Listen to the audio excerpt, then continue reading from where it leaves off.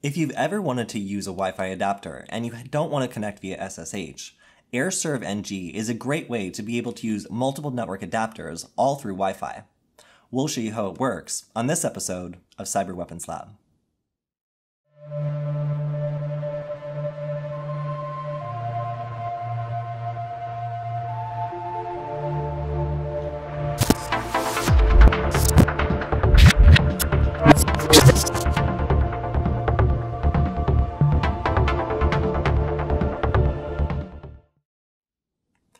Airserv-ng is a tool that allows us to take a wireless network adapter and make it accessible to any other computer on the same network over the internet.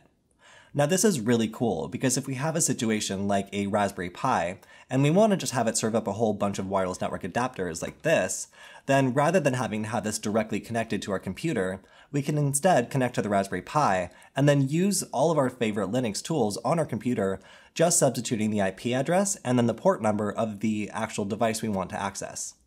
Now this is a huge advantage over just doing something like SSH, because in order to do that, we would actually be inside the Raspberry Pi, which is not really a suitable environment for doing things like password cracking. Instead, we can just access it over the network and use all of our favorite Linux tools directly from our computer, which is a big advantage because the Wi-Fi connection will encrypt our connection anyway. Now, in order to follow this guide, you'll need a Raspberry Pi or another computer to serve up a wireless network adapter. And you also need a computer on the same network that's capable of using it in something like Airmon NG or Kismet. Once you have a Linux computer ready to go, you can check out the article linked in the description if you need any help troubleshooting. Once you've done that, then we can get started.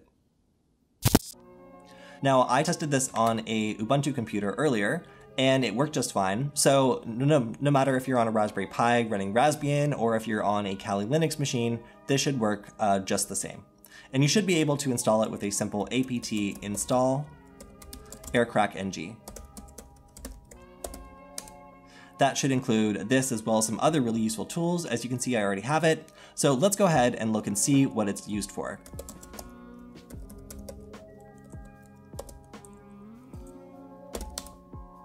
So here you can see in the manual, manual description that it allows us to basically use a network card as a networked resource, meaning anybody on the same local area network is capable of using the card as though it was connected directly to their computer.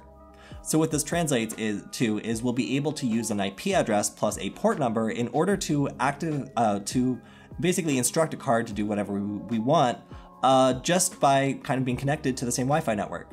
So let's go ahead and take a look and see what we can do with it. So first, let's go ahead and see two different use cases. It's going to be setting up a network card so that somebody else on our network can use it. This could be a teammate. Maybe you're setting up one computer with a whole bunch of network adapters so that uh, a bunch of different people can all log in and use whichever one they want. That's kind of the primary use case of this because if you were to get into someone's computer and try to use this to exfiltrate data, uh, probably wouldn't be a very great idea because it's not encrypted and it's not really attempting to obfuscate what's going on. So first, let's go ifconfig. And we can see we have WLAN 0 connected, but I've, connect I've plugged in a wireless network adapter and this version of Kali is getting a little finicky. So if I type IPA, I can see there's actually WLAN 1 connected as well. So I'm gonna type, type ifconfig WLAN 1 up, and that'll bring up the network card. Now if I type ifconfig again, I should see WLAN1 is available. Cool, all right, so let's make this card WLAN1 useful for other people on the network. Let's say we have another teammate that's running a computer that's just able to do some basic Nmap scans or maybe is wanting to do a Kismet uh, review of the area to see what kind of wireless networks are around, and they don't have the right kind of network card on their computer. So they're going to rely on this in order to get access to a card that actually does comply with uh, whatever it is the tool they're trying to run needs. So cool, let's first put it into wireless monitor mode with airmon ng, Start WLAN 1. And then after that finishes running, we'll type ifconfig again. And here we go. We can see it's now WLAN 1 mon, which means it's in monitor mode. Great, now let's serve this up. We can type airserv-ng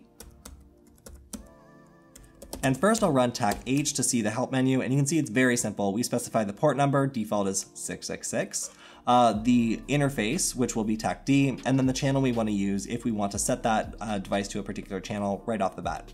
So first let's do airserve ng and then tac D WLAN 1 mon. Great, so now on port 666, we're serving up this wireless network adapter. So in a separate terminal window, I'm going to scan myself and see what is up. I can see my IP address here on the network. Oops. And I can do nmap uh, and then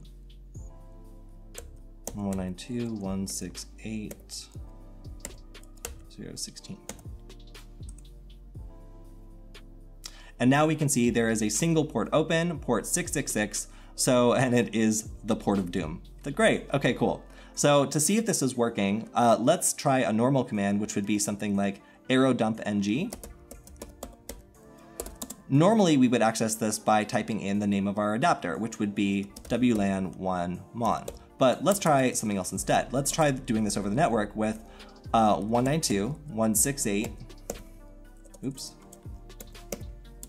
016 port 666. There we go, and it works just the same as though we had connected to it, and I'll disconnect. Uh, it works just the same as though we connected to it by using the proper name. So this would be true for any computer on our network. Now to demonstrate this, I have a Raspberry Pi that's on the same network as me, and I'm going to first scan for it, and then I'm gonna go ahead and actually try to connect to it. So let's first look for a Raspberry Pi, and we'll look for it by looking for uh, port 22. So I'm gonna scan for port 22. I'm going to specify 192.168.0,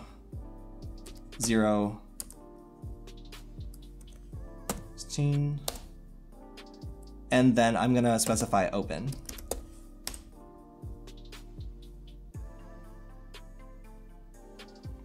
All right, so we have found two different devices. One of them is a Dell and the other is a Raspberry Pi. Great. So now we know that the uh, IP address for this is 192.168.027. Great, so let's go ahead and do a scan that'll show all the different ports that are open rather than the one we knew that the Raspberry Pi was running. So we'll go ahead and replace this with .27 so we're not scanning the whole network and then we'll also specify a different type of scan. So rather than scanning specifically for 22, we'll just see what services are open. Oops.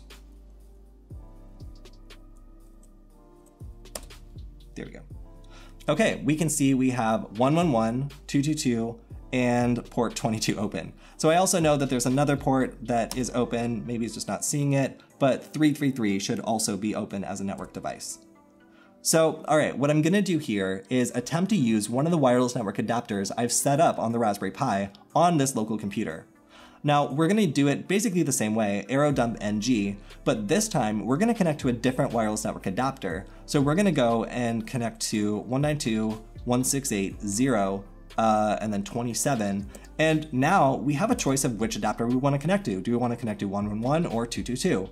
If we were maybe a red team or a group of hackers working together, we could have a Raspberry Pi in our bag connected to all sorts of crazy wireless network adapters depending on the circumstance we needed, and just pick and choose by selecting which one, in this case 222. Now I'm listening through the, uh, the wireless network adapter in the Raspberry Pi. However, the cool thing about this is I can do all my cracking programs, I can control this remotely just by being in my computer. I don't need to SSH into the Raspberry Pi.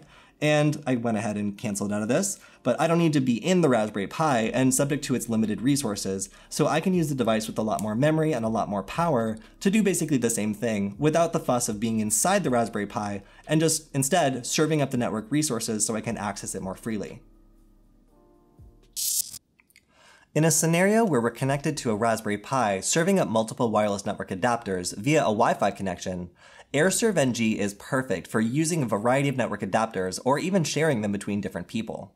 Now over a shared network, this might not be the best use case, because if you have anyone sniffing for traffic, or if you maybe gain access to a computer on a network and want to infiltrate it and use its network card, it would probably be best to use SSH because that connection would be encrypted and you wouldn't be able to see everything that you're doing with the network card in plain text.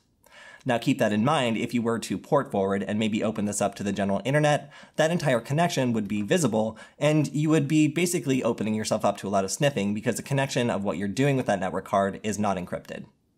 That's all we have for this episode of Cyber Weapons Lab. If you need any help troubleshooting, you can check out the article linked in the description. And if you have any ideas for future episodes, you can send me a message on Twitter because I'd love to hear from you. We'll see you next time.